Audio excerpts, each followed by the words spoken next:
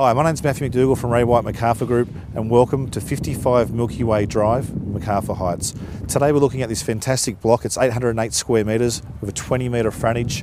You can build your dream home or you can develop and build duplexes subject to council approval.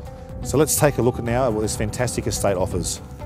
This outstanding block of land is situated on the highest point of the Macarthur Heights estate. Just look at the commanding district views. Other features include cycleways for the kids, sporting fields, observatory deck, and parklands for the families to relax and have a picnic.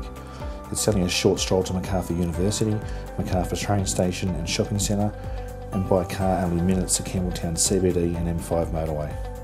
I'm Matthew McDougall and please be quick, do not miss out on this luxury lifestyle living.